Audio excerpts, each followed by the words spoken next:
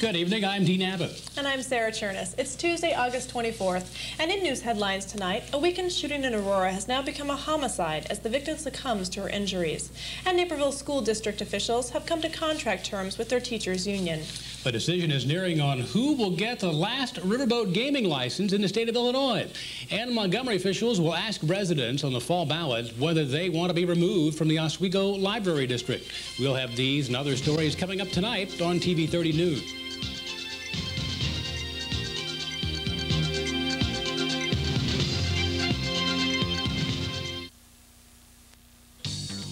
The biggest, it's the best, it's the fun-filled family place in town. It's Funway Entertainment Center in Batavia, located off Route 25 just off the Fox Valley Bike Trail. Try your hand at miniature golf, step up to the baseball and softball batting cages, take to the wheel of the competitive skid cars, or bump your way around in bumper cars. The new attraction everyone will be challenging, the Crazy Maze, or the state-of-the-art sound and climate-conditioned roller skating. It's always a big hit. Come spin your wheels at Funway Entertainment Center, Route 25 in Batavia. Getting there is all the fun. Wow, tortilla chips. Not ordinary tortilla chips. Our new chachos are flour tortilla chips. Flour? We're making new Keebler Chachos. We're making new Keebler Chachos. Lightly crispy chachos. Flour tortilla chips. Hey! We're making cheesy quesadilla. We're making cinnamon crispanya. And if I want to dip it all? We're making restaurant original. New Keebler Chachos. Lightly crispy flour tortilla chips. Hey! Now there's a Liquid Lever 2000 for your germiest parts. Pokey parts and parts that explore. Playful parts and parts that do chores.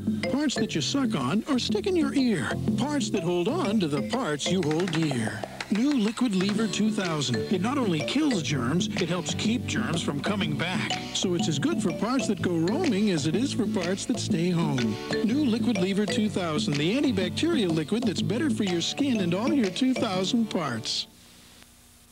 Police are now seeking the man who allegedly shot an Aurora woman to death late Sunday night. Police say that a warrant charging murder has been issued for 24-year-old Sean Roscoe Judge of the 300 block of Old Indian Trail.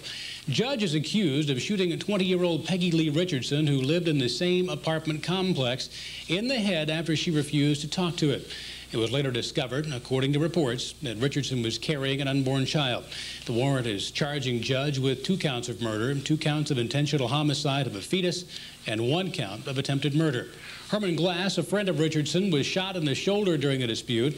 Police say Richardson and Judge were formerly dating. Richardson died of her injuries at Mercy Center Hospital yesterday. Glass was treated and released. A tentative agreement has been reached between the Naperville School District and its teachers. School will start for Naperville 203 students this Thursday, just like the calendar says. After several meetings with federal mediator, the two sides have come up with the agreement. Assistant School Superintendent Michael Kaiser says it's a good agreement, an agreement that may not have been made without the assistance of the mediator. Details on that contract agreement are not being released until the school board and the teachers ratify the agreement, which should happen sometime shortly after Labor Day.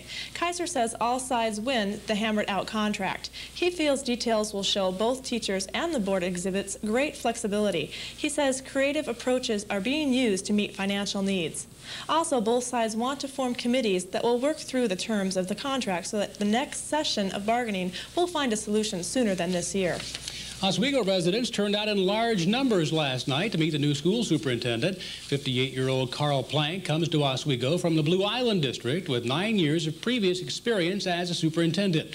He was greeted at a reception at Eastview Elementary by district residents and parents, as well as county and community leaders. Plank says he's met with staff and is looking forward to undertaking the new challenges Oswego's top administrative position will provide.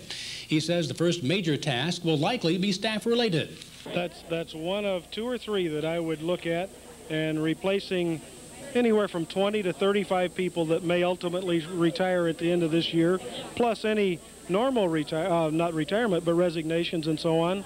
We're going to have from 30 to 40 people probably to replace on the staff. And as we do that, it's important that we have the ability to pick the best people that are available to the school district. Plank was hired on unanimous school board vote last month. He's the third Oswego District 308 superintendent in as many years. Says they begin or bringing a sense of stability to the main office will also be the primary point of focus. Two things, it seems to me, just hit you right in the face, and that's stability from the central office. We've had several years of turnover and, and so on. In addition, then, as you think about it, new growth to the community. Um, dealing with additional student growth and not only from the standpoint of instruction, but also from facilities, you have to be concerned about where we're headed in the future and how we're going to get there. Plank has been awarded a two-year contract and has this month assumed his full-time position with the district. Village officials in Montgomery are putting the decision whether to proceed with disconnection from the Oswego Library District to the residents. Village trustees last night approved the motion made by Ad hoc Library Committee Chairman William Keck to put a question on the November ballot, asking residents of Montgomery whether they're happy with what they're getting from the district. Keck says residents have been paying taxes to the district in the hopes of ex an expanded library facility in the village, but the 1,000 square foot facility in a storefront on Douglas Road continues to be the only service village, village village residents have to the library district. Many residents have come to the village board asking for a change. Currently, the Oswego Library District is planning to expand their existing facilities in Oswego. That plan is in the preliminary stages. Registered voters in DeKalb County will have a chance to decide the fate of the county's cooperative extension service. County board last week voted to place a referendum seeking broader-based financial support in order for the cooperative extension service to carry on into the 21st century. As it is, the smallest percentage of the extension service budget comes from county support, while state monies are largely used to pay salaries or to match local funds. Federal dollars primarily are used for paying personnel or specific programs in the CES budget. Illinois ranks near the bottom of the top 10 agricultural states in terms of state and local financial support of the CES. The alternatives for bettering those figures are to cut salaries and staff personnel. In the referendum, the CES revitalization plan calls for local funding to provide half of the core salary base and half of the funding services at the Extension Office. The other half will be funded by matching state funds, dollar for dollar. County Board member James Forrester says there are a large amount of money that can be raised by the tax. We're asking for three-tenths of 1%, which is a very small amount, but uh, one-tenth of 1% uh, levy against the uh, valuation that we have in the county would raise about $75,000. If the goal is reached, according to Forrester, the DeKalb County Cooperative Extension Service could acquire $150,000 if the state matched those local funds generated by approval of the referendum. Forrester says a referendum is not a new idea, but one that stabilizes the future of the extension for any county. 68 counties have already passed the resolution, uh, mainly because they had to do it right away because they couldn't find local funding as we have for the last two years. So uh, 68 counties have already approved it. The DeKalb County Center is one of 21 regional centers across the state and serves DeKalb, Kendall, Kane, and McHenry counties. Elgin officials are waiting for word from the Illinois Gaming Board on their riverboat proposal. That story next as the TV 30 News continues.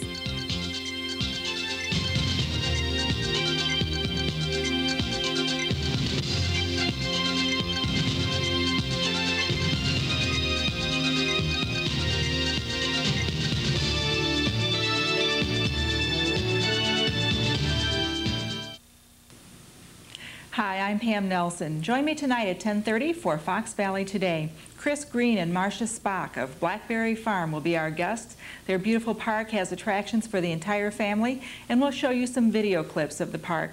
And tomorrow, John Guile, a children's storybook author and public speaker, will be here to address the use of language in our school system. Join me tonight at 10:30 on Fox Valley Today, here on TV 30, the Fox Valley's TV station. You want to have some fun? Some California fun? Then order the Aquasling from Riva Sport and let the fun fly. The Aquasling water balloon slingshot is just plain fun. Fun on the run and fun in the sun. The Aquasling can launch a water balloon the length of a football field or double that with the 200-yard competition model. The Aquasling is made in America and designed to last. It's easily used by one, two, or three people, and it comes with a lifetime guarantee. With your AquaSling, you get 72 biodegradable balloons, the garden hose fill nozzle, official AquaSling target, and detailed instructions on its, uh, proper use. Just call 1-800-544-7900. That's 1-800-544-7900. Have your credit card ready and we can ship it to you tomorrow. Tomorrow. That's right, you could be having California fun in just a few days. The AquaSling costs a mere $19.95. So what are you waiting for? Order your California fun today. State Gaming Board officials say a decision could come tomorrow on who will get the state's final riverboat gaming license. The Illinois Gaming Board spent all day yesterday hearing from the four groups vying for the final gaming license. Linda McCahey, the spokeswoman for the board, says that they will lay the testimony with specific criteria in mind. If members put more emphasis on economic development, Elgin and Moline would benefit because both are suffering from high unemployment rates. However, the two rural sites, one in Kane County, the other in Lake, say they are best candidates because their facilities are more apt to draw the greater number of out-of-state gamblers. A 16-year-old Aurora, boy is in critical condition tonight after he fell from the back of a pickup truck on Bitler Road. Police say Eldridge Slug of the 2600 block of Stanton Court reportedly fell out of the back of the truck while it was traveling just west of the DuPage Parkway shortly after midnight last night. Police say they believe he and another passenger were horseplaying when the teen lost his balance. Police say Slug was pronounced brain dead upon arrival at Mercy Center Hospital. Doctors are reportedly keeping the boy on life support at the center.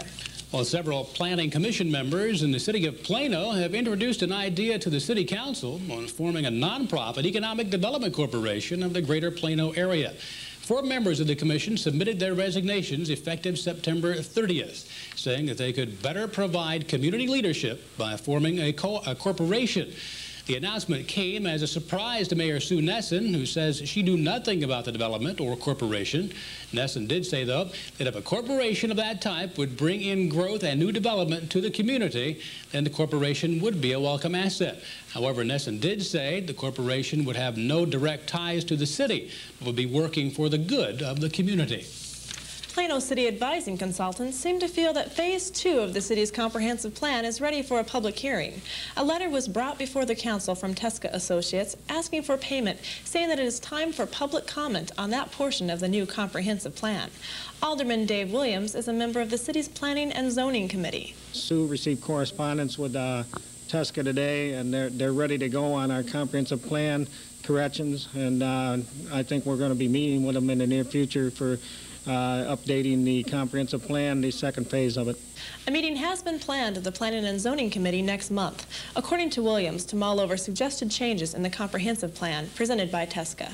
We're going to be looking into a, a 29 or 30 page document that was presented to us by Teska uh, for recommendations and changes in, in, in the uh, building and zoning code. Uh, so we're going to be reviewing that. We've had it for quite some time. We've been sitting on it. We're going to review it page by page and see if we can come up with some of it and implement it in the code and reorganize some, some areas in the code that are causing a little confusion and clean, just basically clean up the code in some areas. That meeting of the Planning and Zoning Committee is scheduled for September 15th. Legislative leaders gathered at the state capitol to discuss the possibility of a special legislative session to bail out the Chicago schools. Lawmakers are counting on the teachers union and school boards to come to an agreement on a contract talk before the state will step in. House Speaker Michael Madigan wants the legislative leaders, the governor, Mayor Daley, and the board and union to sit down and hash out a compromise. However, Governor Edgar says he's not in favor of doing that. Well, DuPage County State's Attorney Jim Ryan has entered the race for Illinois Attorney General yesterday, saying there needs to be more prosecution of consumer fraud in criminal courts rather than civil suits that George Ryan and Roland Burris favor. Ryan says consumer fraud is a crime and should be prosecuted in the proper case. He also says that he will place more emphasis on prosecuting consumer fraud as well as filing civil suits. Ryan, in his third term as DuPage County State's Attorney, lost the race for Attorney General to Roland Burris. Reforming Illinois child's protection system is one step closer to reality under a bipartisan investigation headed by State Representative Tom Cross of Oswego. Cross said the subcommittee, which is part of the House Judiciary One Committee, has completed a big first step by finishing a comprehensive on-site investigation in the East St. Louis area. The subcommittee opened their statewide investigation by meeting with Metro East doctors, nurses, police, officers, teachers, juvenile officers, and social workers after the meeting. The group also toured schools and shelters for neglected children and spent several hours talking to the DCFS volunteers. The subcommittee plans to travel to Rockford, Aurora, and Chicago for further on-site investigations. Well, high school golf is underway across the entire Fox Valley. We'll have sports coming up next.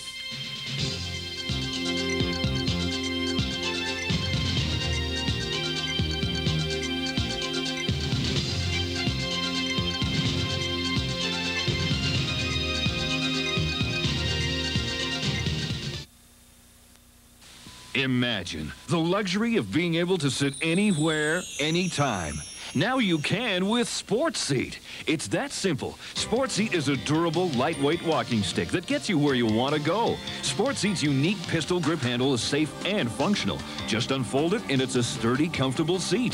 Sports Seat guarantees you a seat for any activity. Golfing, camping, travel, virtually any spectator event. Use it at work or at play, for the family or for yourself. Sports Seat makes a great gift. Just think of the possibilities. Sports Seat is strong. Its patented rugged design holds up to 250 pounds, yet it weighs only 28 ounces. Guaranteed for a year. Use it for a lifetime. Sports Seat, only $19.95 Visa or MasterCard. Call 1-800-351-8100 now for a special limited time offer. That's 1-800-351-8100. Or send check or money order plus $4.50 shipping and handling to Sports Seat. Big odors lurk in small places. Stick it to stick-ups. Big odors linger in small places. Stick it to stick-ups. Concentrated Airwick stick-ups stop big odors in small places. Airwick stick-ups. Stick it to them. You ever notice you can't really smell your own breath? Hi, Tim. Problem, Tim? You can smell other people's breath, but not your own, even though it's right under your nose. So you search for fresh, clean breath or face the consequences. Hey, guys. Want fresh, clean breath? Get the only mint with Retsyn and be certain with certs. Rub-a-dub-dub, pretend you're a tub with a bad case of soap scum. Wouldn't you like to be cleaned by soft scrub with Clorox bleach? Clean soap scum safely without harsh scratching. Soft scrub with bleach and soft scrub cleanser, preferred by tubs everywhere. Aurora University's football squad will be holding their annual media day this coming Saturday, and it'll give the public a chance to take a look at the 1993 Spartan squad. Now, with the success of last year's team, this year's group will try to write their own chapter in the Spartan record book. And if preseason rankings are correct, head coach Jim Scott could have another great year. Certainly, uh, what I, have told the squad is basically uh, it, it is recognition of past achievements and, uh, and potential for the future doesn't win any games for you, but it's nice to be recognized. And I think in the in our brief history at Aurora University, uh, this is the first time of the preseason that we have been rated. So we consider it a real honor, but on the other hand, it uh, is an awesome responsibility to live up to these clippings. Aurora has been ranked as high as 16th and as low as 18th in three different preseason polls. The inter-squad game will begin around 1 o'clock Saturday. It's open to the public and is free of charge. Well, high school golfers are getting set for the new season, and one of the local teams that could make a bid for the state title is Elgin Larkin High School. The Royals were the surprise team in 1992, edging St. Charles in the sectional to help end the Saints' streak of consecutive state tournament appearances at nine. A couple of players to watch from Larkin are seniors Harry Chanet, who qualified for the Maxfli PGA Junior Championship next week, this in Pinehurst, North Carolina, and Sean Roeder, who is third in the junior division IJGA Player of the Year standings. Naperville North and Waubonsie Valley are two other teams locally that should be strong this year. On the girls' side of things, St. Charles Saint tradition will continue there. Coach Rod Osborne says the seniors on his team are exceptional.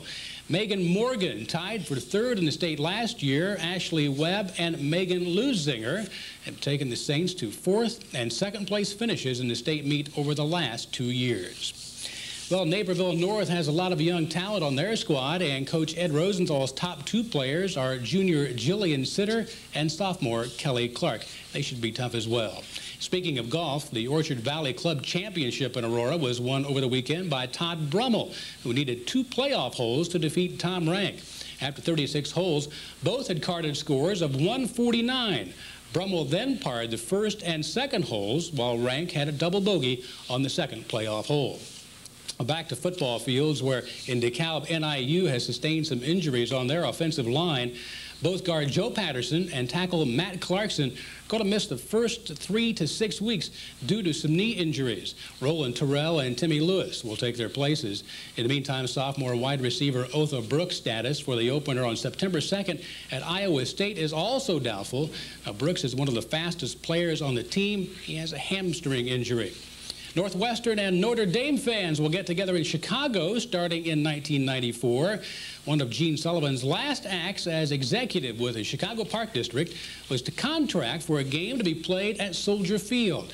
Chicago Tribune reported today that a press conference will be held later this week to make the official announcement. Sullivan also began negotiations that could make Soldier Field the site of the Northern Illinois Illinois game in 1994 and the U of I Northwestern games in 1995 and 96. Stan Thomas, a former Chicago Bear number one draft choice who wanted out of the Windy City earlier in the preseason, well, he got his wish, as you remember. He was shipped off to Atlanta.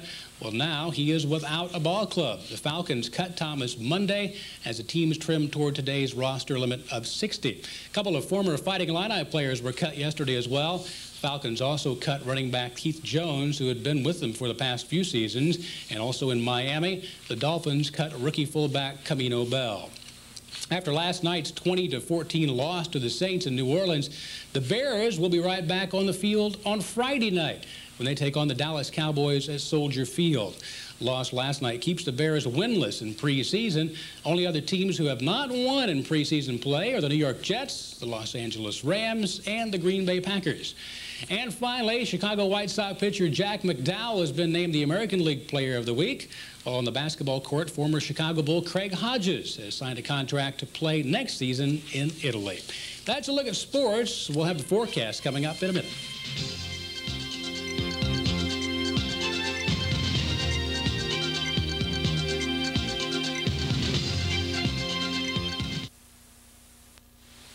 In the next 60 seconds, as you watch, a powerful new air cleaner, the Zephyr Turbo Ionizer, will completely clear the smoke from the sealed container. The Zephyr Air Ionizer works by silently emitting millions of negatively charged ions into the air. These ions cling to airborne pollutants like dust, tobacco smoke, mold, pollen, even bacteria and viruses, causing them to fall harmlessly to the ground. And the Zephyr removes odors, too. Zephyr's new Turbo Ionizer technology is so effective, the U.S. Navy uses it to clean the air in submarines. A Zephyr Air Ionizer is the best way to clean air. Use the Zephyr in your home, at the office, in your baby's nursery, anywhere you want clean clean, fresh air. And with a free 12-volt adapter, the Zephyr Ionizer cleans the air in your car or RV, too. To order a Zephyr Air Ionizer for just $39.95, have your credit card ready and call this toll-free number. Then, after 30 days, if you don't agree that the air you breathe is cleaner and fresher, return it for a full refund. Order now and start breathing air this clean.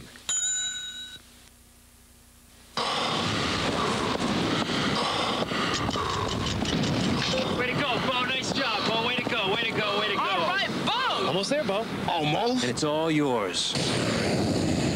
You think he can do it?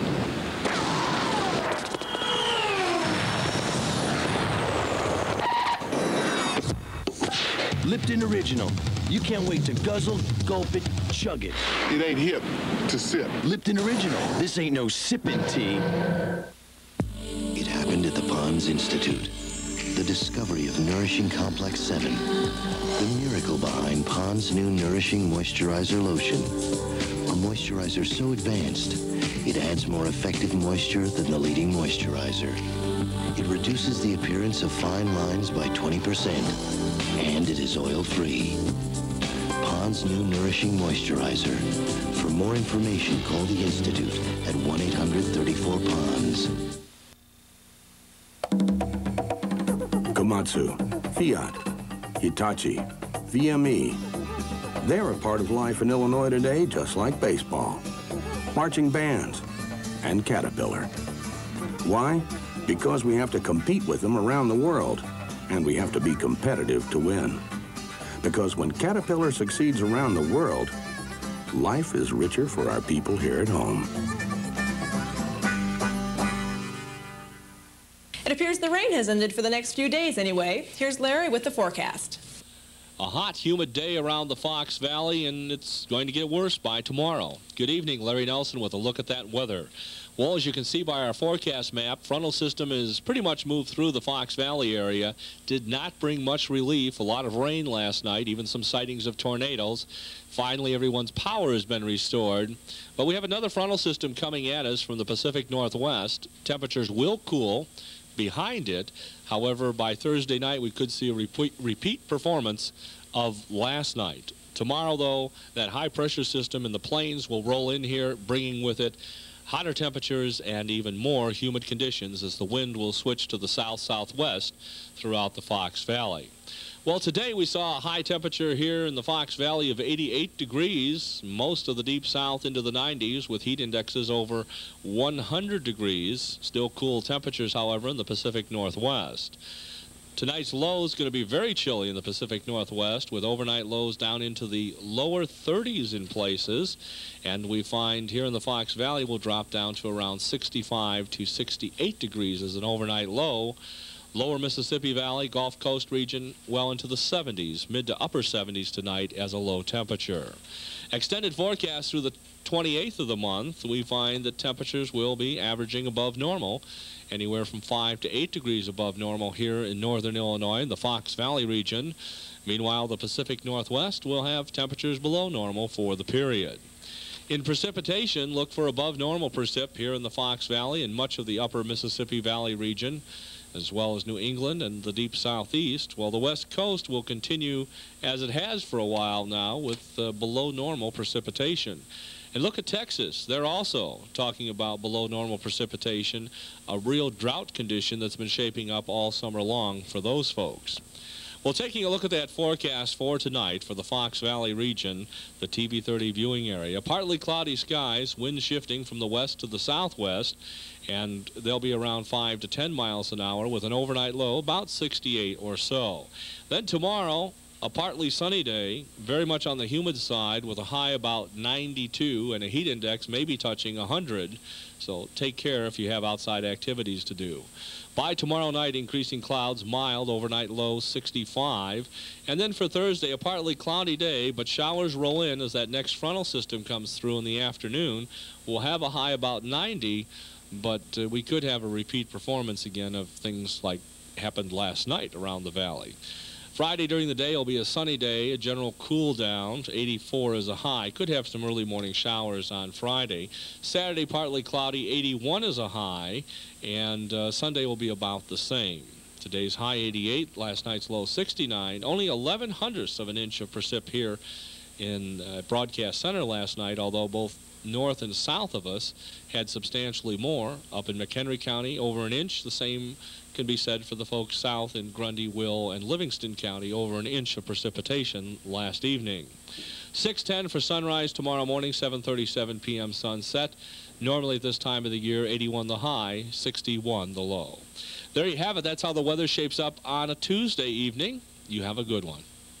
Thank you, Larry. Well, if the check had been for anything but a tax refund, Jennifer Mayo Demon of Wilkes-Barre, Pennsylvania, might not have been that surprised when the bank bounced it.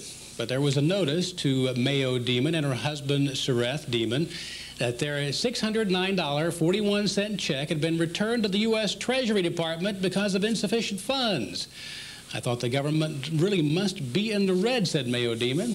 A couple said that they had been given assurances they'll get their money, though they haven't been able to find out why the check bounced. And that's our report for this Tuesday, August 24th. I'm Dean Abbott. And I'm Sarah Churness. From all of us at TV30 News, good night.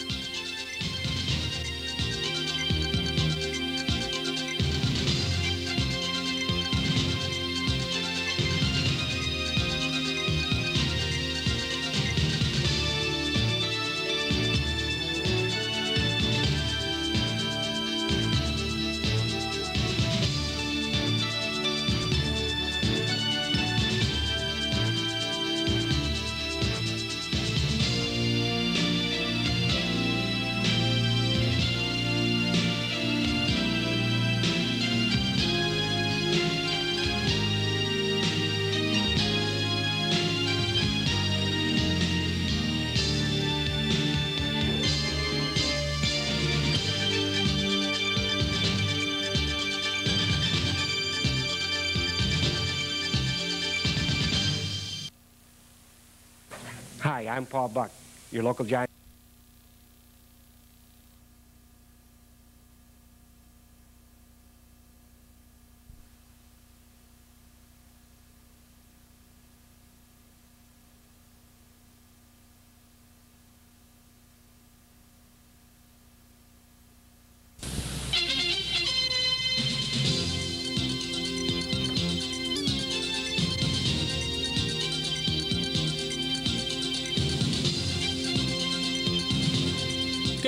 I'm Dean Abbott. And I'm Sarah Churness. It's Wednesday, August 25th. And in news headlines tonight, authorities are looking into a fatal car-train collision in DeKalb County, the, and the Marywood Fire Protection District will remain intact for at least two more years. Oswego's new school superintendent has some very definite opinions on the issue of state funding of schools. And dozens of local residents have filed petitions to run for local school boards. We'll have these and other stories coming up tonight on TV 30 News.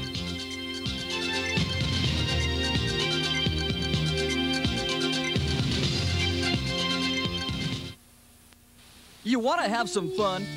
Some California fun? Then order the Aquasling from Riva Sport and let the fun fly. The Aquasling water balloon slingshot is just plain fun. Fun on the run and fun in the sun. The Aquasling can launch a water balloon the length of a football field, or double that with the 200-yard competition model. The Aquasling is made in America and designed to last. It's easily used by one, two, or three people, and it comes with a lifetime guarantee. With your Aquasling, you get 72 biodegradable balloons, the garden hose fill nozzle, official Aquasling target, and detailed instructions on its, uh, proper use.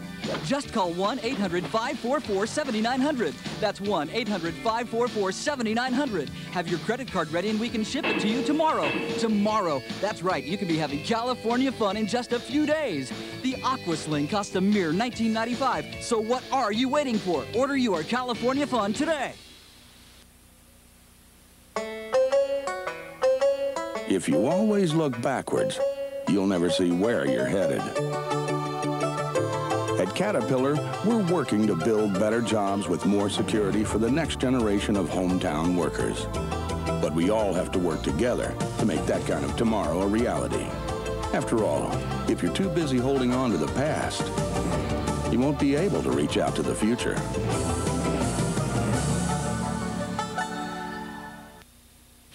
A Chicago man died yesterday in a car train accident near the Governor Beverage facility just south of Route 30 in DeKalb County.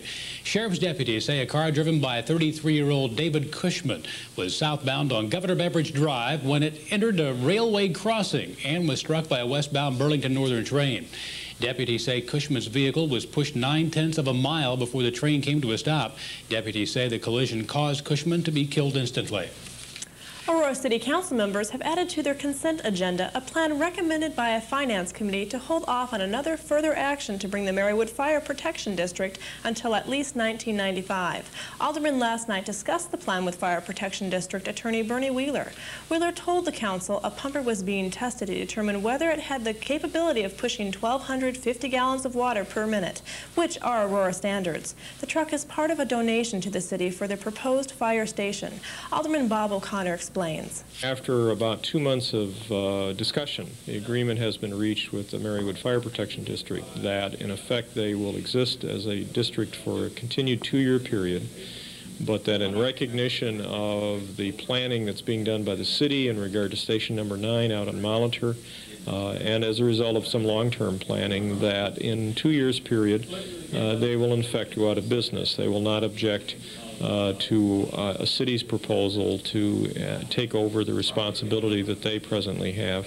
And as part of the agreement over the two-year period, uh, the city uh, will receive from the Marywood Fire Protection District a dollar amount, approximately I think $60,000 a year, leaving them $100,000 to operate for their area that they'll continue to operate under. And additionally, the Marywood Fire District will provide to the city a piece of equipment that they presently have in recognition of some additional responsibilities that the city's going to have in, in providing fire protection for the area up there. Representatives of the Fire Protection District say they will not pursue a lawsuit when the city begins its annexation procedures in two years as part of the agreement. Large number of Montgomery residents turned out at this week's board meeting to protest village approval of a plan that would allow an apartment complex along Jericho Road at the intersection of Orchard Road. In a drawn-out debate, lawyers representing both the developers and the residents and the taxpayers themselves were allowed comments on the proposal. Currently, M1 zoning exists in the subject area for manufacturing. The plan calls for a variety of uses, B3 designation for a possible service station, B2 general commercial, where a strip mall could be, uh, be developed, and R4 residential zoning. Developer's attorney Tim McCann told trustees a large amount of residences could be built in that area, but the developers would adjust the number of developments to suit the board. As for the parcel we are depicting as parcel one, consisting of 10.485 acres more or less, is what we are requesting R4 zone. Now that is uh, the zoning that would allow under your ordinance up to 11 units per acre. Uh, we recommended or we asked the Plan Commission to discuss 11 units per acre. When we received their unanimous approval, it was based on 11 dwelling units per acre. We have reviewed the annexation agreement in this case. We know that the council has previously said that if R4 or if residential is requested, that we would be limited to eight dwelling units per acre. If the pleasure of the council is that we stick with eight dwelling units per acre, we would agree with that. We certainly would prefer to have more, but if you would prefer to stick with the eight that's required under the annexation agreement, we we can live with that as well. Over 200 signatures in petition form were handed over to the board requesting they deny the apartment complex proposal. Resident Terry Bennett offered the board his reasoning. The kids uh, will have no place to play. Are they going to go out and play in the gas station that's proposed with the other businesses there? That would be creating a problem. But my point uh, also is uh, the police. You're going to burden the police department on Montgomery also. With simple flat apartment complexes, when you stick people together like this, they have nothing to do. Kids run, police are called. It's going to burden the tax body there.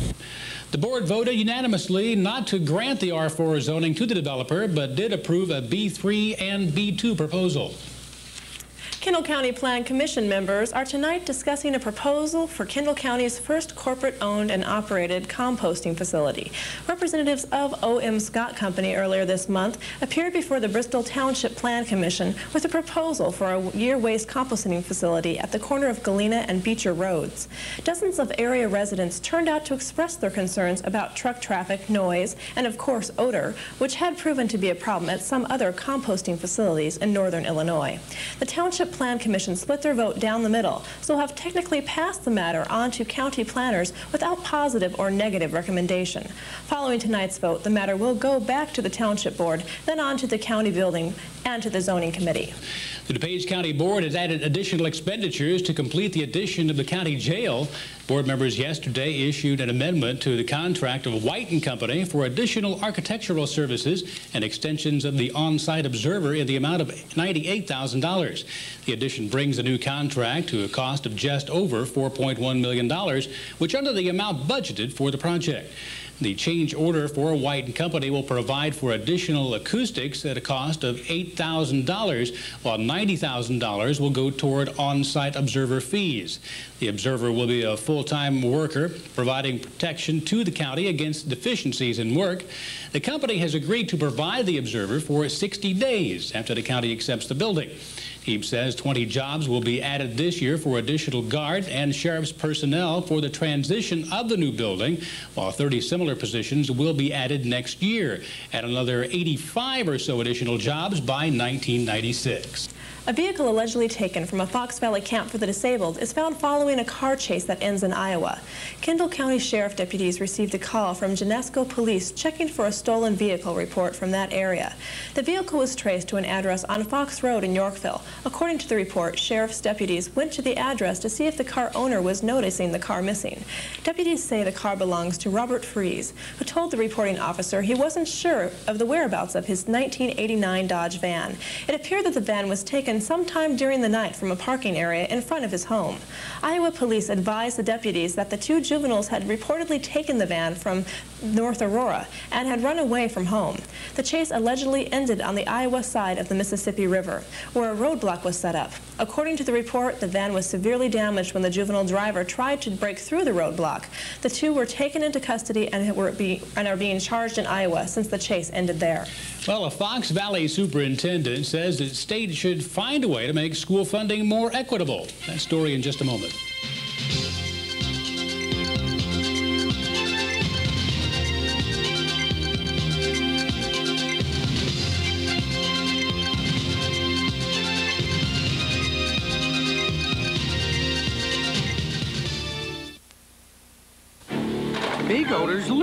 Small places. Stick it to 'em with stick-ups. Big odors linger in small places. Stick it to 'em with stick-ups. Concentrated Airwick stick-ups stop big odors in small places.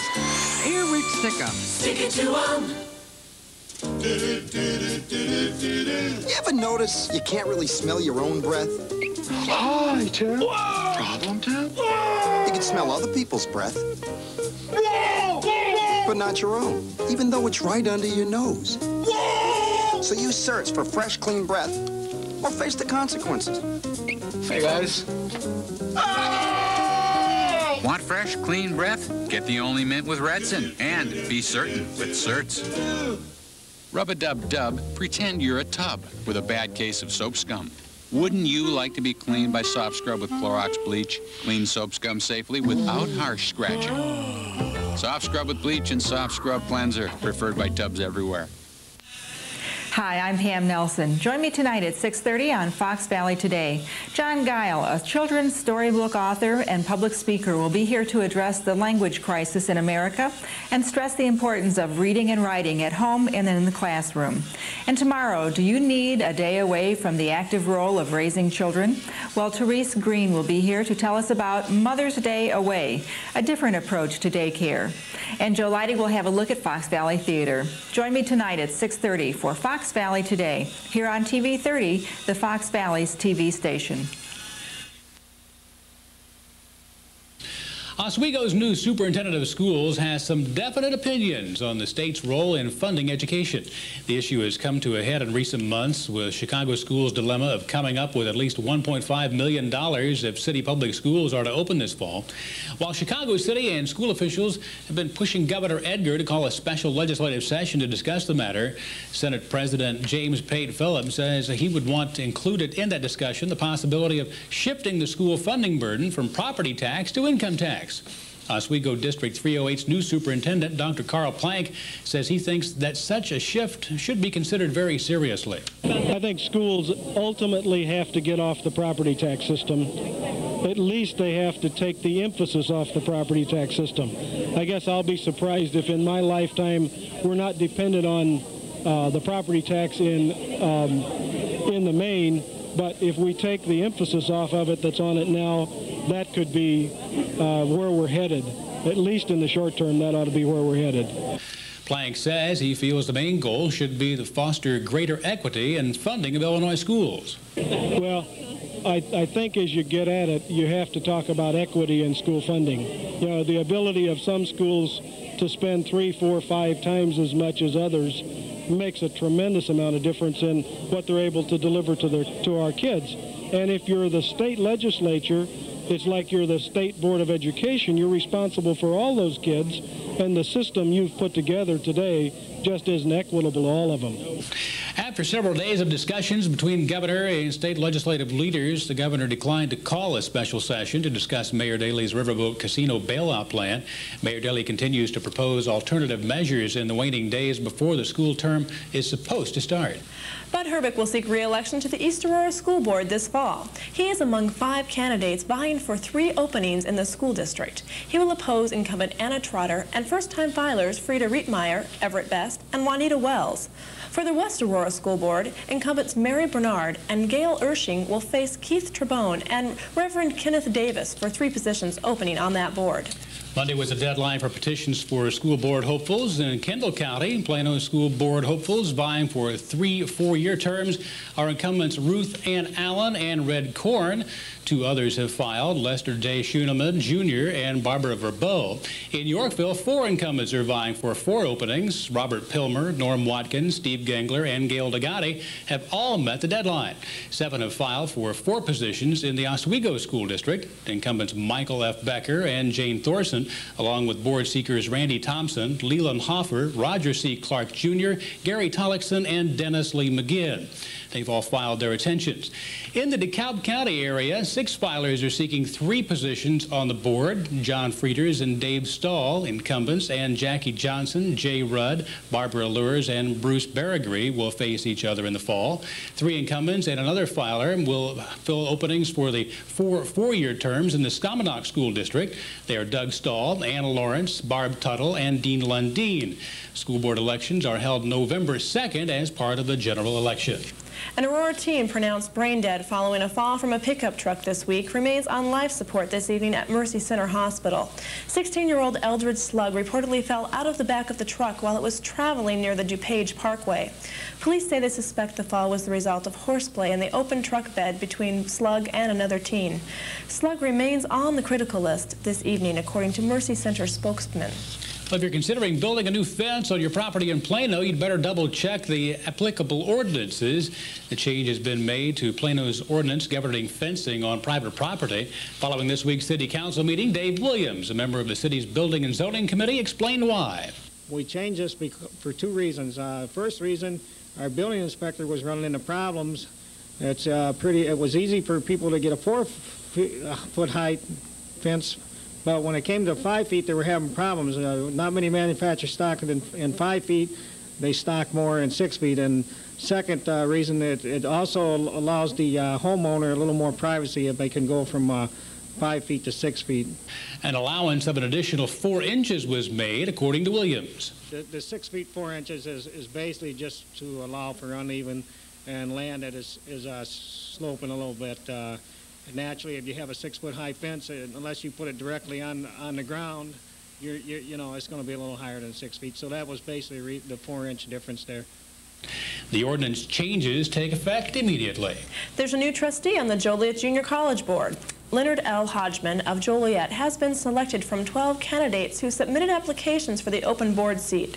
Hodgman, an adjunct faculty member at Lewis University, retired from JJC in 1989, where he taught for 32 years. He will be sworn in and seated at the board's August 30th meeting and will serve until November of 1995 filing an unexpired term of James Wright of Bolingbrook, who has resigned on July 12, citing professional reasons. Well, a high school golfer takes home the top honors this week at Naperville. Dave Alstott has sports coming up next.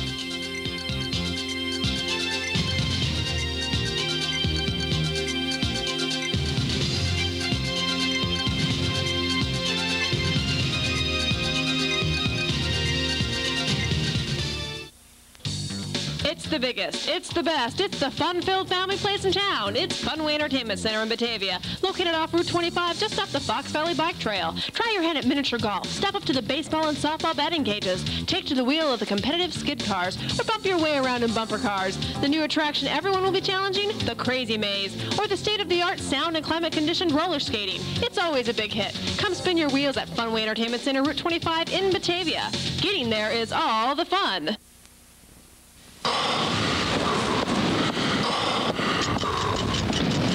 Way to go, Bo. Nice job, Bo. Way to go, way to go, way to go. All right, Bo. Almost there, Bo. Almost? And it's all yours.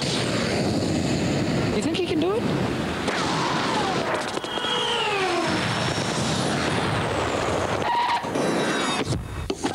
Lipton Original. You can't wait to guzzle, gulp it, chug it. It ain't hip to sip. Lipton Original. This ain't no sipping tea. It happened at the Pond's Institute. The discovery of Nourishing Complex 7. The miracle behind Pond's new Nourishing Moisturizer Lotion. A moisturizer so advanced, it adds more effective moisture than the leading moisturizer. It reduces the appearance of fine lines by 20%, and it is oil-free. Pond's new Nourishing Moisturizer.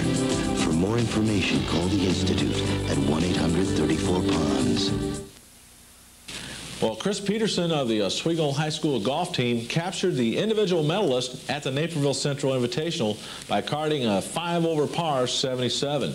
Josh Neifer from Naperville Central finished second, one stroke behind the lead, while Jason Lamastry of Waubonsie Valley and Curtis Malm tied for third with a 79. Team honors went to host Naperville Central with a three-stroke advantage over Waubonsie Valley. St. Charles finished seven strokes behind the leaders for third place. Well, Susie Sterrett, a 1991 graduate of Aurora Christian, finished in fifth place in the Southwest Airlines National Collegiate Invitational Tennis Tournament in Austin, Texas. Sterrett lost in the quarterfinals to Kellyanne Johnston of Duke. She's the number nine ranked collegiate player in the nation. And in the consolation bracket, she finished uh, longtime rival Jennifer Nazer from Arlington Heights. Nazer plays for the University of Texas. Sterrett took second place in her state her senior year at Aurora Christian. Well, two area sports boosters clubs plan on conducting a membership drive for their local high schools. Sandwich High School Sports Boosters membership drive will be taking place from 5.30 to dark. High school athletes will be going door to door to sign up new members. And memberships are $5. And the Plano Sports Boosters will also be conducting their membership drive. Members of the volleyball and football teams will begin uh, convesting Plano Thursday night at 7 o'clock. Memberships are $5 as well. Well, the Chicago Bears reduced their roster to 60 players by placing 12 players on waivers, and they also put Tom Thayer on the physically unable to perform list. Among those released were Shane Matthews, a quarterback from Florida, and Louis Age, a second-year tackle, and cornerback Richard Fain. The Bears had signed Fain as a, as a Plan B free agent and had started the last seven games for the Bears. And Jay Hilgenberg, 11-year center for the Bears, was released by the Cleveland Browns. Well, in Williamsport, Pennsylvania, last year's Little League World Series champion Long Beach defeated champ, uh, Richmond 12 to 8, and Bedford shut out Hamilton 1 to nothing. Long Beach was named last year's champ after the Philippines were disqualified for using ineligible players. And this year's tourney is not without controversy, as Taiwan was disqualified for the same reason. Saipan, Saipan became the Far East champ by default but was defeated by Panama yesterday 4 to 1. And also in the international bracket, Vancouver beat Germany 8 to 1. The championship game for the U.S. division and the international division brackets are scheduled for tomorrow with the Little League World Series champion to be crowned Saturday. Well, the Durham Bull may be able to do something that sports fans have not been able to get for Nellie Fox, and that's to go to the Hall of Fame. The wooden bull that graces the right field fence at Durham Athletic Park was built for the movie Bull Durham and was meant to only last for the making of the movie, but has become a landmark. With the closing of the park called DAP, Hall of Fame officials want to induct the bull as a tribute to movies made about baseball. Well, move over Lou Gehrig and Cal Ripken and don't even think about a continuous game streak. The clown prince of baseball, Max Patkin, has not missed a minor league appearance in 50 years. Well, that comes to over 4,000 consecutive games. Well, last Wednesday, Patkin, while visiting a friend at Fenway Park in Boston, missed a step in the dugout and severely sprained his ankle. The Clown Prince will be on the DL for about three weeks. And that's a look at sports, Sarah. Hot and muggy weather are still in the forecast, plus there's some rainfall mixed in. The forecast is coming up next.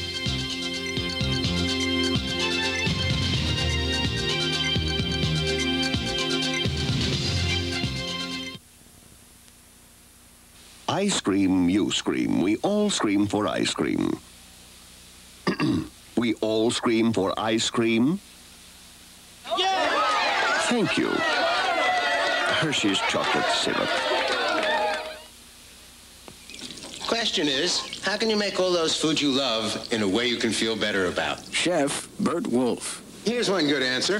90% unsaturated Crisco oil. You see, when you're cooking with oil, you want to cut back on saturated fat. Compared to olive or corn oil, Crisco is lower in saturated fat.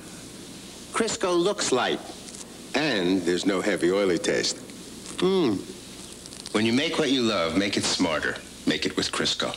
Cooks who know, trust Crisco. Where will you be when your laxative starts working, where will you be? With Fleet brand glycerin suppositories, there's no worry. Fleet works when you want it to, in minutes. For fast, predictable relief, trust Fleet. It's predictable. Well, it was another hot and humid summer-like day in the Fox Valley, and more is on the way, but Larry says some added rainfall could be on the way as well as he joins us with the forecast. An overcast, hot, and humid day around the Fox Valley. Good afternoon, good evening. Larry Nelson is late afternoon here in the 6 o'clock report. It, it is hot and steamy again outside today, and that uh, steamy weather is going to be with us for a while, but then starting tomorrow, we move into the chance of showers. As a matter of fact, actually tonight there's a chance of showers, but tomorrow's going to be another hot and very humid, sticky day with a high about 92. Tomorrow night is when I see the strong possibility of that frontal system coming through that you see on our forecast map and creating some shower activity and maybe even some gusty winds. Again, on Friday, some more showers, but temperatures dropping down into the 80s. And uh, we find that uh, temperatures out on Saturday could be as low as only 75 to 77 degrees as a high. Well, just how warm was it today around the valley? Well, we warmed up today to a high of 93 degrees, and uh, many areas to the um, to the south of us were well over 98 uh, degrees with heat indexes running well over 100 degrees. Look at that. The 90 degree area actually runs through northern Illinois and way up into parts of northern Michigan and the UP, while parts of central Illinois today were actually cooler than we are here in the Fox Valley. Taking a look at overnight lows for this evening, we find that we'll drop down to an overnight low right around 69 to 70 degrees. Uh, most of the nation is in general chilling down quite a bit.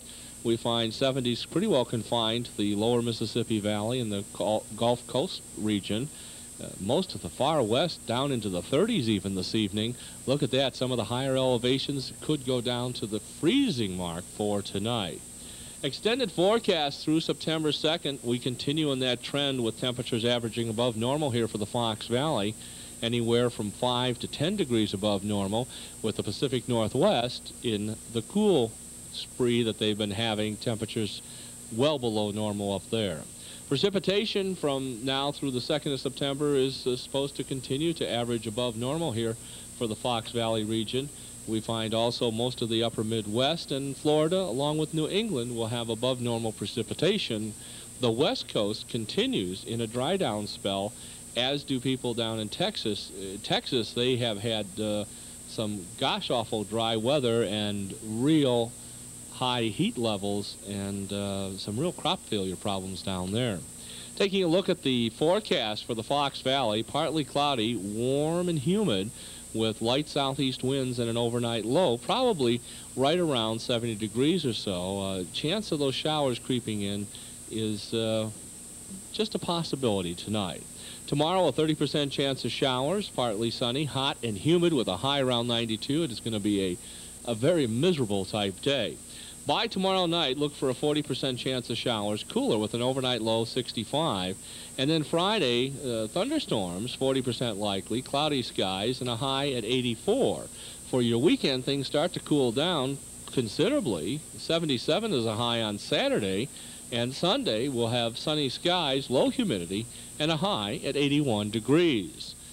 93 the high officially today, 65 the low last night at Broadcast Center. And 611 for sunrise tomorrow, 7.36 p.m. for sunset. Averages 81 at this time of the year as a high and 61 is a low. That's an early look at the weather. Be back at 10 with more. Thank you, Larry. Gross, Nebraska has a population of less than 10, but that doesn't keep them from joining in summer festival activities. This year, the town's nine residents managed to bring together 3,000 people to celebrate their town's centennial. Festivities included the pancake and sausage breakfast, a parade, and of course the annual Miss Gross contest that included mudware and choreware categories. Event organizers say the celebration was small, but it was definitely gross. And that is our report for Wednesday, August 25th. I'm Dean Abbott. And I'm Sarah Churness. Have a great night.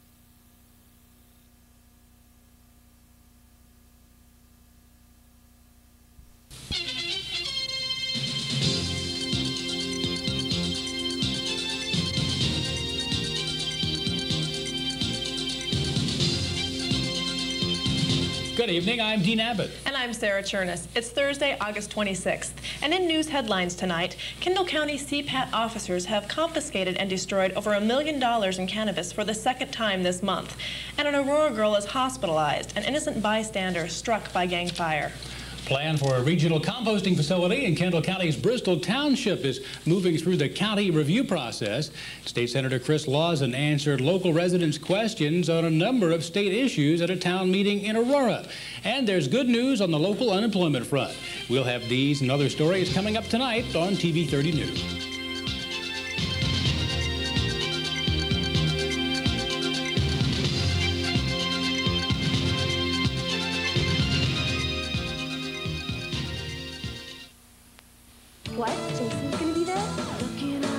Think your face is special, other people will too. So use Noxzema every time you wash. It's better than soap. Dissolves oil without over drying for healthy looking skin. Your face belongs to Noxzema. And here's a different kind of Noxzema, Noxzema Plus, with an added moisturizer plus a fresh scent for healthy looking skin. Your face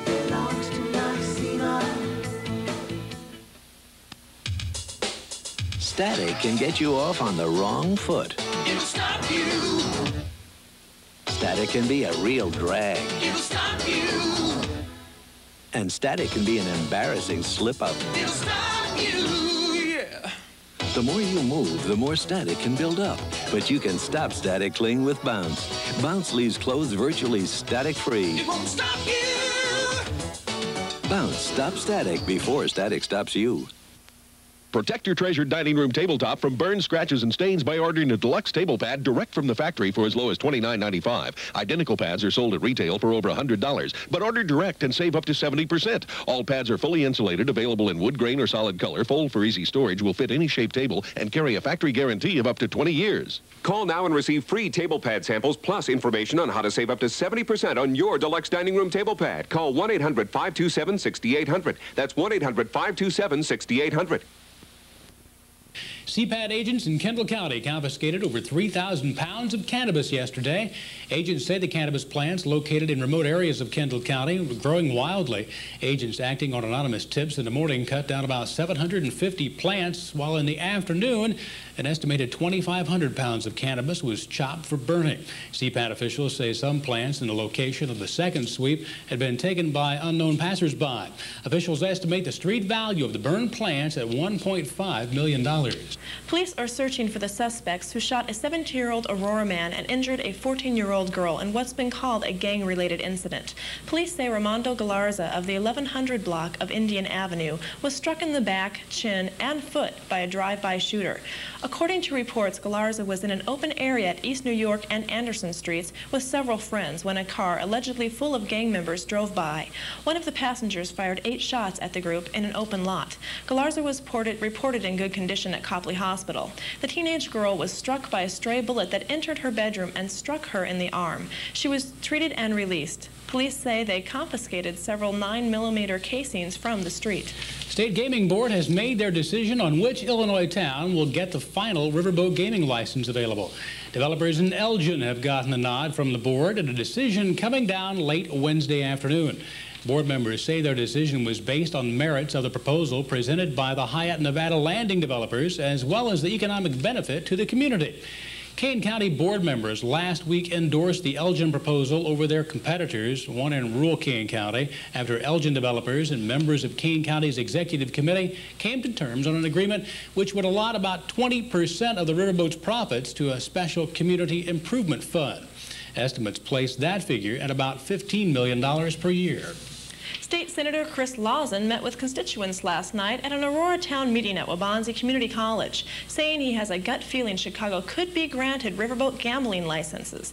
Lawson says if they link the good with the bad to bring the riverboats to Chicago, we could see a case we've seen in the past in state government. If they hook that to the education solution, we've got the lottery all over again. Well, hopefully they won't do that. But what happens is we're going to be facing an, an expansion of gambling in Illinois.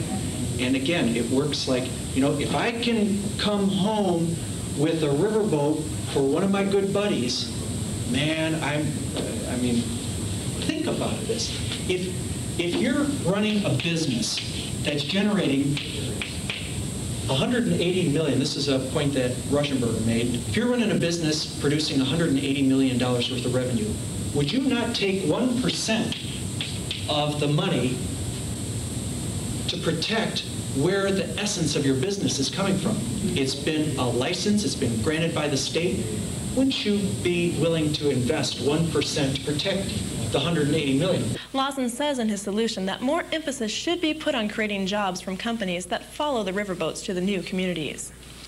Let's put this on a plane of economic development. Some people consider this economic development, but what we need are, are environmentally responsible manufacturing businesses. Other major topics of Lawson's town meeting were reducing crime in state and local areas, taxpayer fund wasting, and the pesticide usage law. Well, there was good news for Fox Valley job seekers during the month of July. Unemployment dropped by more than one full point over the month in all area counties. Largest drop was noted in LaSalle County, where joblessness plummeted two and a half points.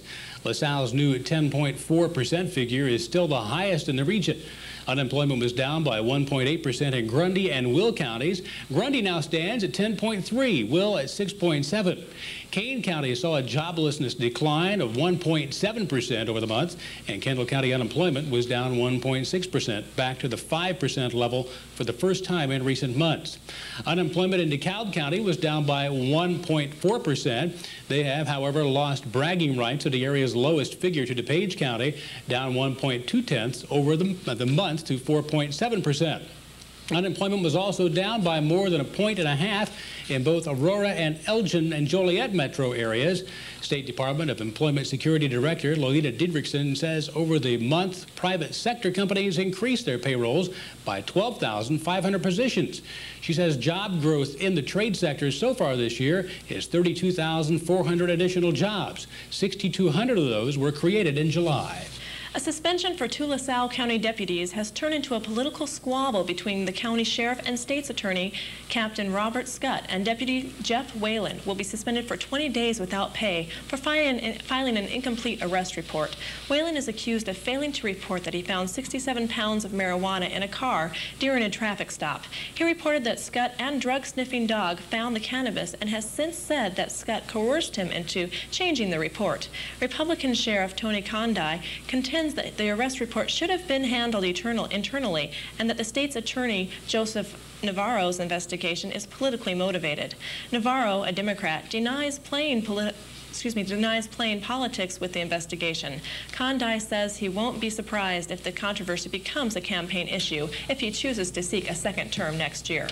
Well, a plan for a composting facility in Kendall County is one step closer to reality today. That story's next as the news continues.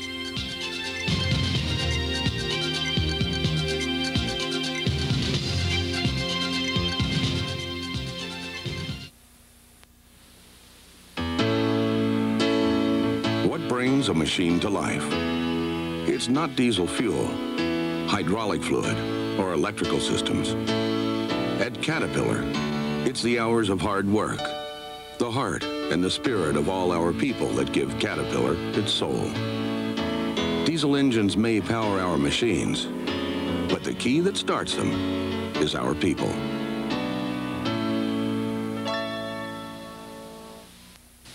Imagine the luxury of being able to sit anywhere, anytime.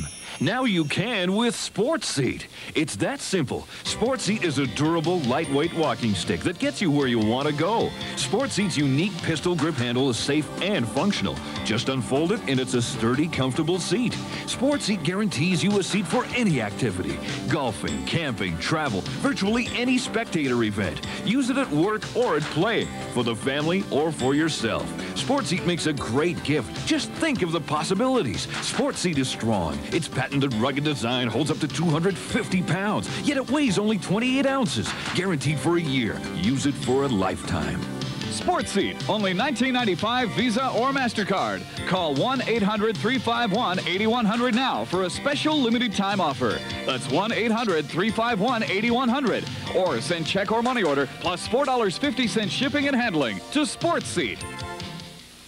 A proposal for a landscaped waste composting facility in Kendall County was heard last night by the Plan Commission. The O.M. Scott Company is seeking permission to construct the facility on 57.5 acres at the corner of Galena and Beecher Roads.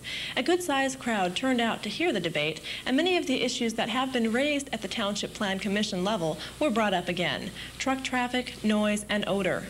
Commission members also asked how the proposed facility would fit into the county's newly adopted solid waste management plan.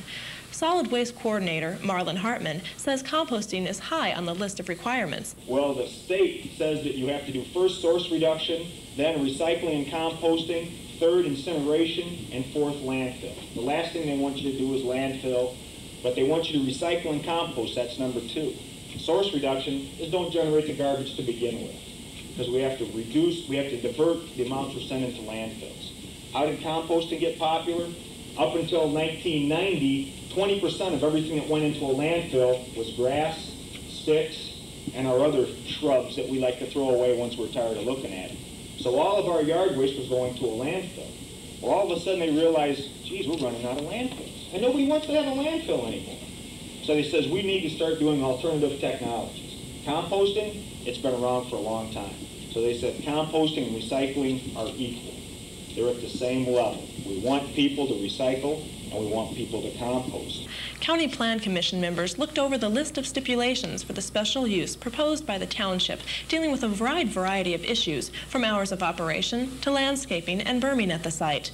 To the list, they added a few of their own, including the establishment of, in, of an intergovernmental agreement between the county and Bristol Township for the sharing of host fees and their preference for site access off Galena Road, and the establishment of detention pond for dealing with water runoff. The Plan Commission's vote on the issue was 8 to 2. It now moves back to the township for a vote by the township board, and then will be heard by the county's building and zoning committee. A woman arrested as part of a three-county drug sweep in May has been sentenced to two years in a state corrections facility. According to DeKalb County court officials, 23-year-old Randy B. Rodriguez was given a prison term after she pleaded guilty this week to charges of unlawful possession of a firearm. Authorities say Rodriguez has ties to the Latin King street gang and had a prior conviction for mob action. Members of the United Auto Workers Local 145 and their families will be celebrating the spirit of the upcoming Labor Day holiday a bit early. Union officials say they plan to stage a rally this Saturday morning on Route 31 in front of the Montgomery Caterpillar plant. Caterpillar employees have been working without a contract since October of 1991, and previous rallies at plant gates have prompted hundreds of workers to turn out. Local 145 President John Paul Yarborough says, quote, this rally is to show Caterpillar and the world that they are determined as ever to carry on the struggle for a fair and just contract, end quote. The rally will be Saturday at 6.30 a.m. and run through 8 a.m. Restructuring is underway at the Ameritech Corporation. The Ameritech has told its employees it will eliminate 1,200 to 1,500 management positions by the end of this year as the next step in its organizational restructuring plan.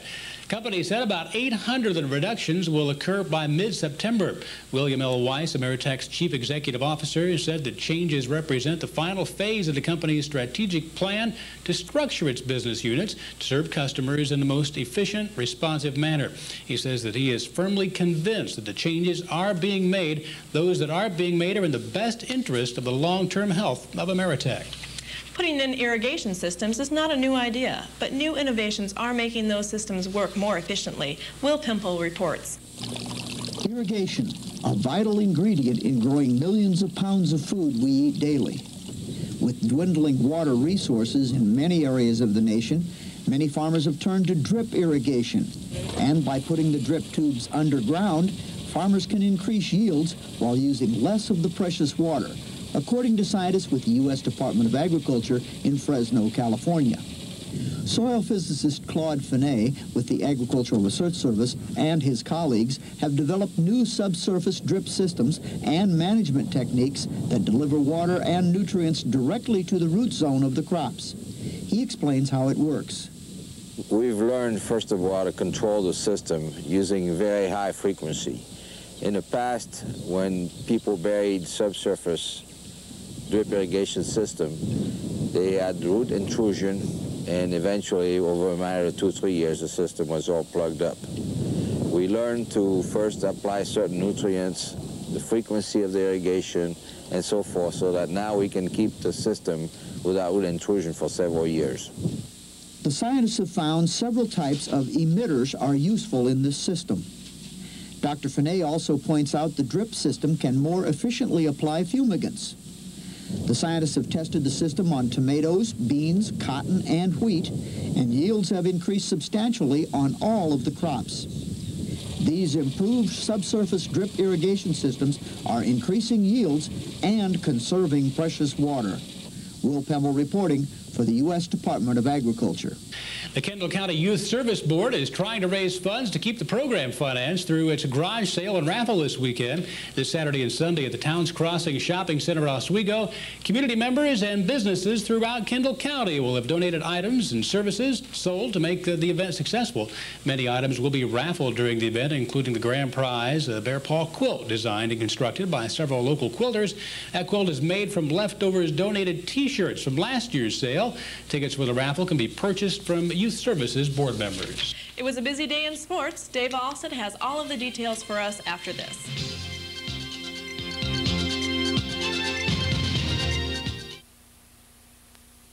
You want to have some fun? Some California fun? Then order the Aquasling from Riva Sport and let the fun fly.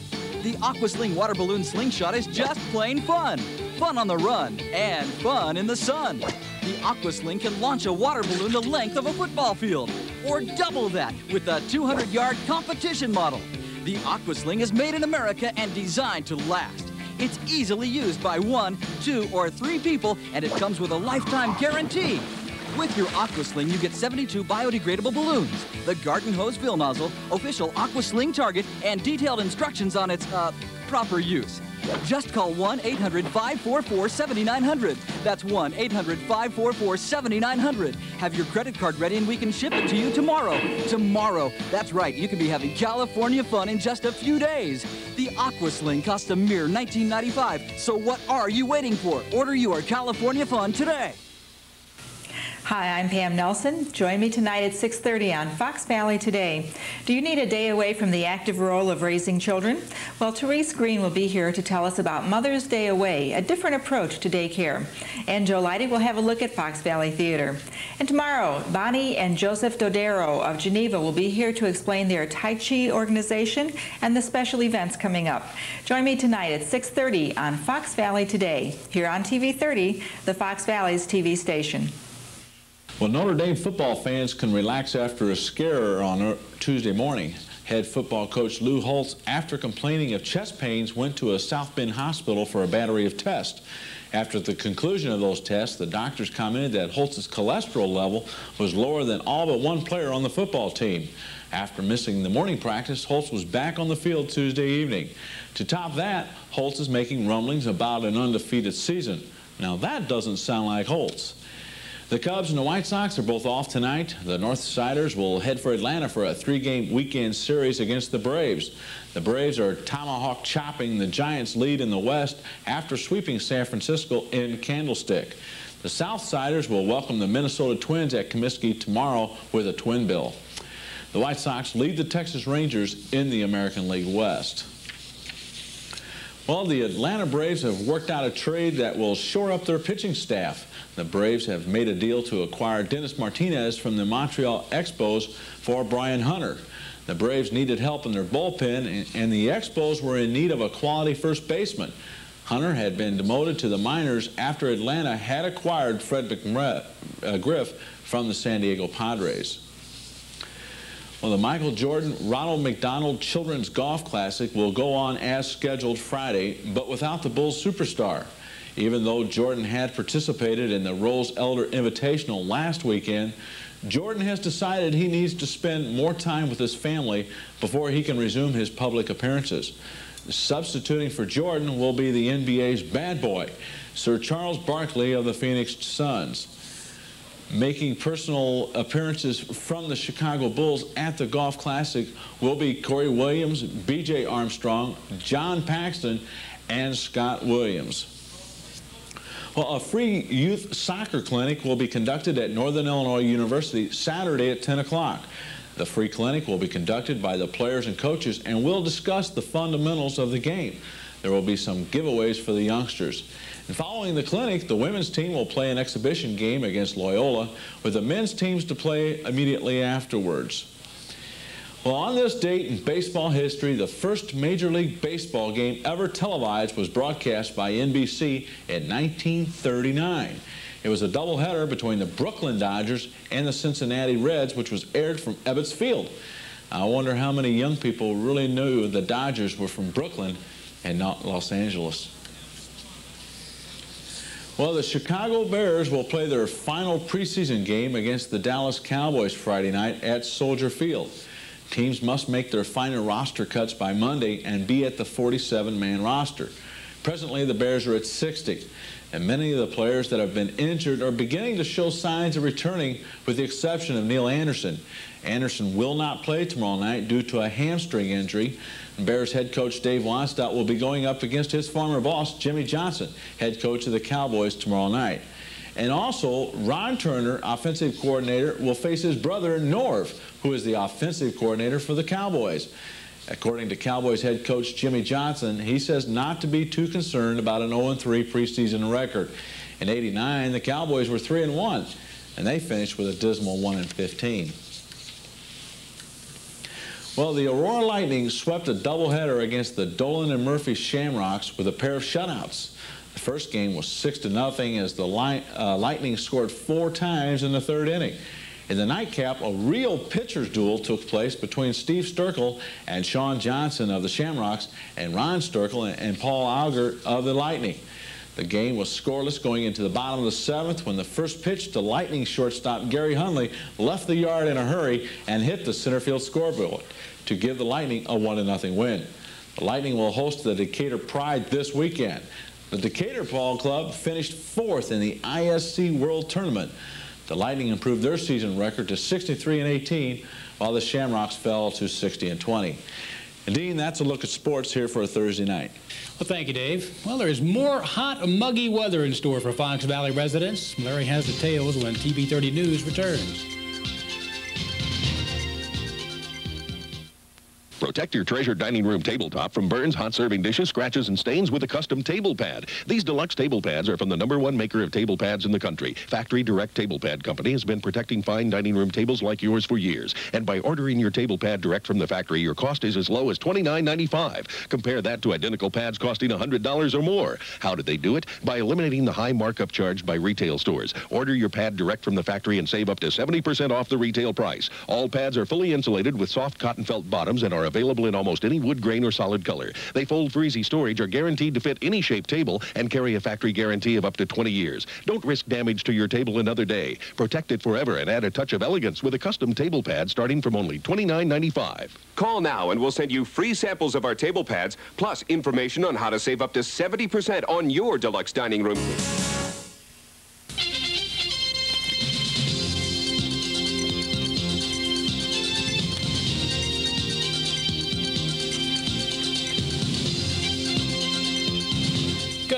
Dean Abbott. And I'm Sarah Churness. It's Friday, August 27th. And in news headlines tonight, Aurora Crime Stoppers has entered in the search for a man accused of killing his ex-girlfriend and her unborn child. And an Aurora priest accused of sexual misconduct has pleaded not guilty to the charges. After a year and a half of debate, Yorkville City Council members have reached a decision on a controversial business proposed for the Countryside Center area.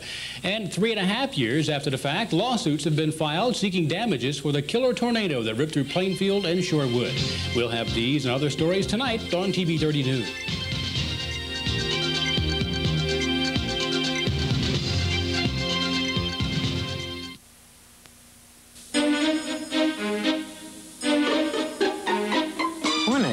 Treat that still tastes good?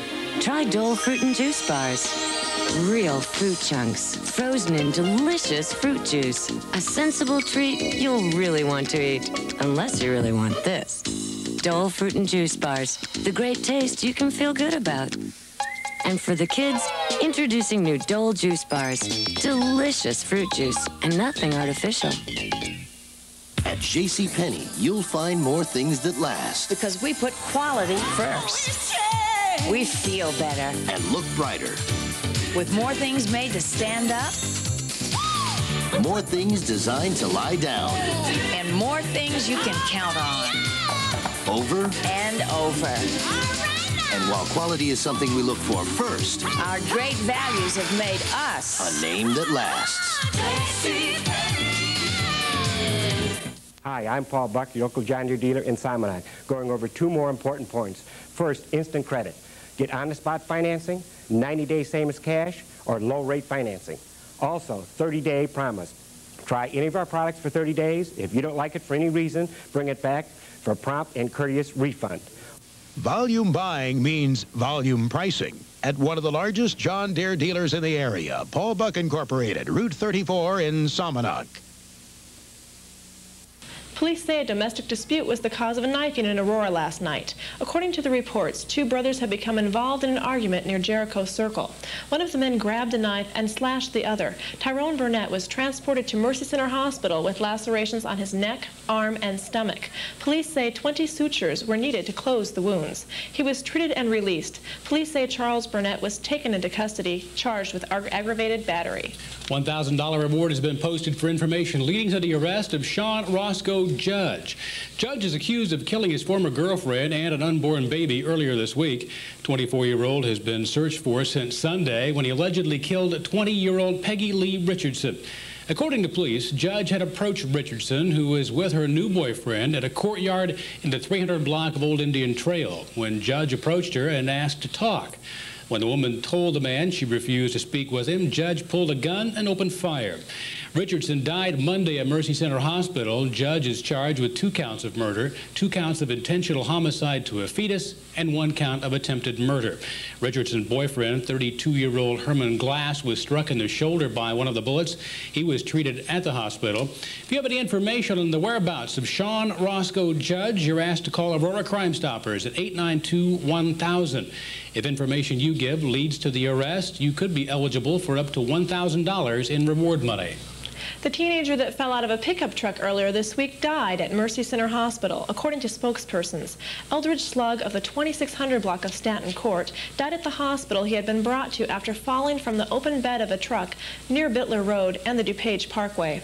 According to police, the truck hit a bump when Slug lost his balance and fell from the vehicle. Slug died at 11:15 in the morning. Proposal to allow the Car Star facility in the city of Yorkville has been approved after nearly a year and a half of debate.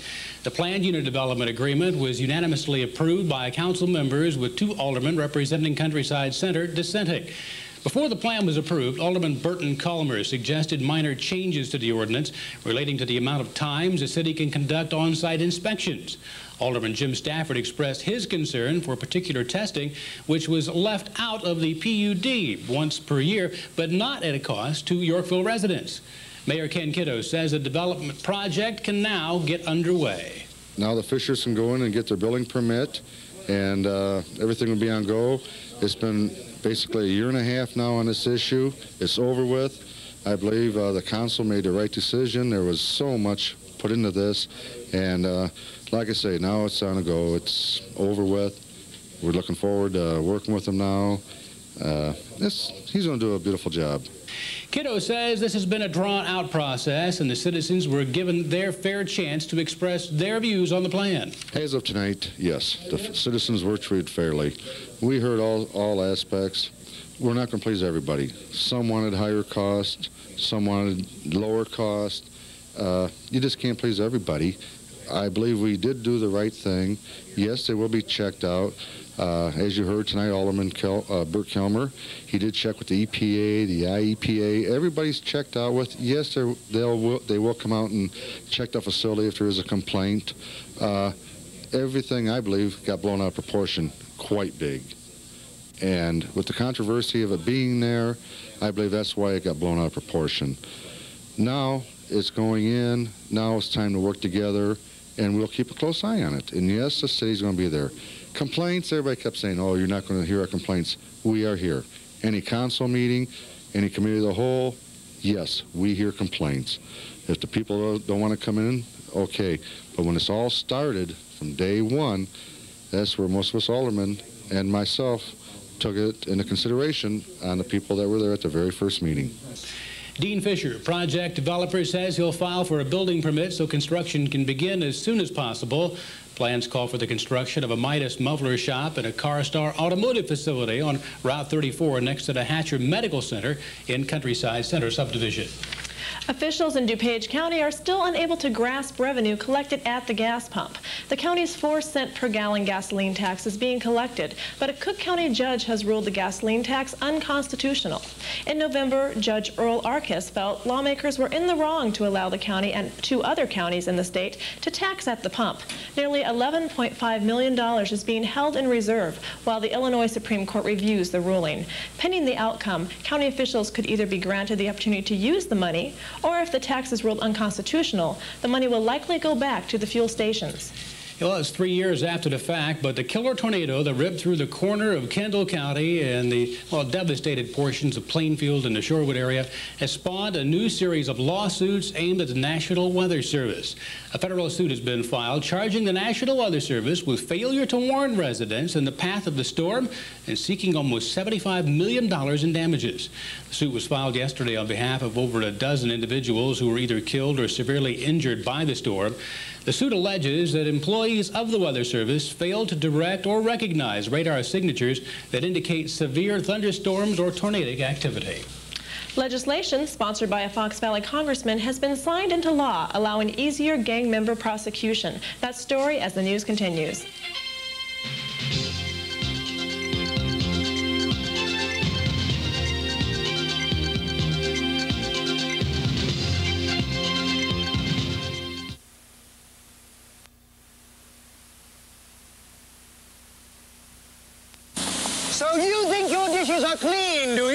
Not without new Jet Dry, they aren't. Just look inside a drop of rinse water. There's detergent, minerals, and food particles that'll be redeposited on your dishes in the rinse cycle. You need Jet Dry with extra rinse enhancers. Jet Dry's clear rinsing action removes ghastly residues that cause spots and film. Clearly, new Jet Dry with extra rinse enhancers for shiny, clean dishes. But I wish I could stick my teeth into one right now. So what are we waiting for? This is what I was craving. Me too. It's what cream cheese was invented for. The Lender's Bagel. First you crave, then you rave. I just can't say enough about them. The bigger your corn gets, the smaller and more painful your shoe feels.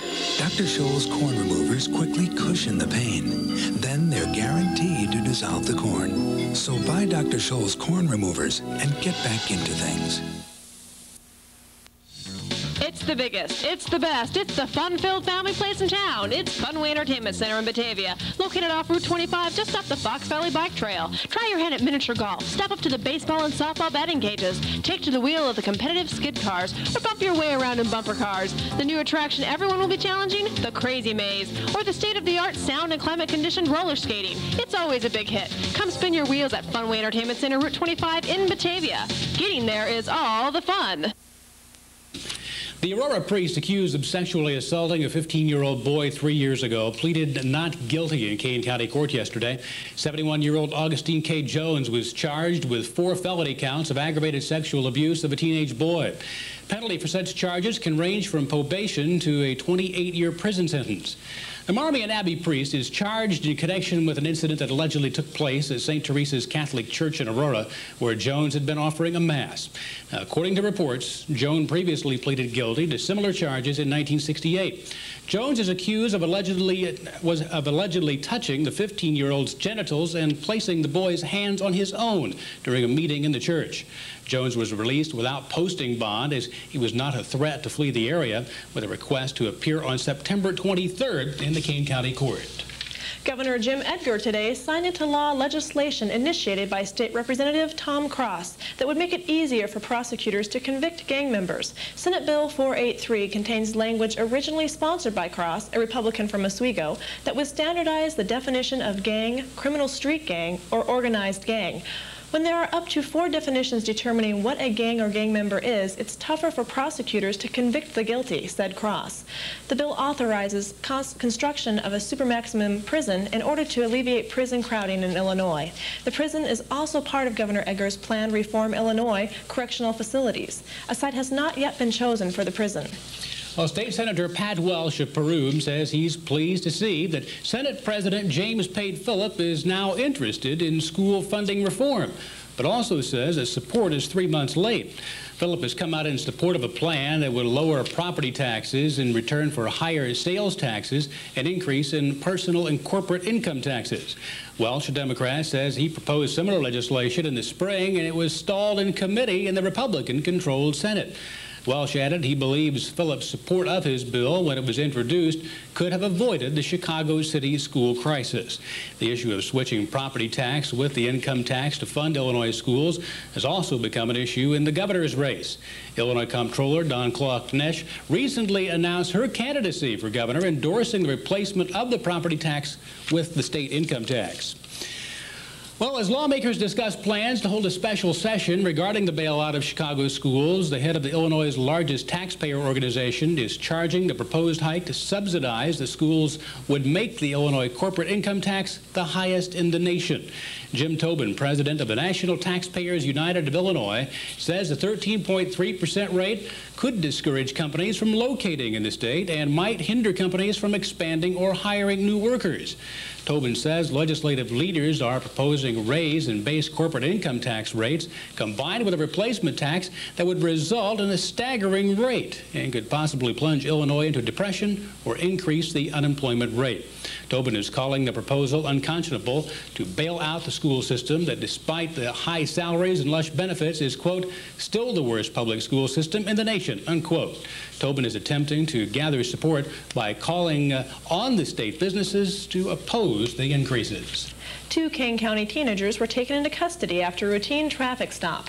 Aurora police stopped a red Chevrolet van in the 1100 block of Superior and reportedly discovered approximately 85 grams of cannabis. 17-year-old Chester Ish of Elburn and 17-year-old Douglas Diomons of Elgin were taken into custody.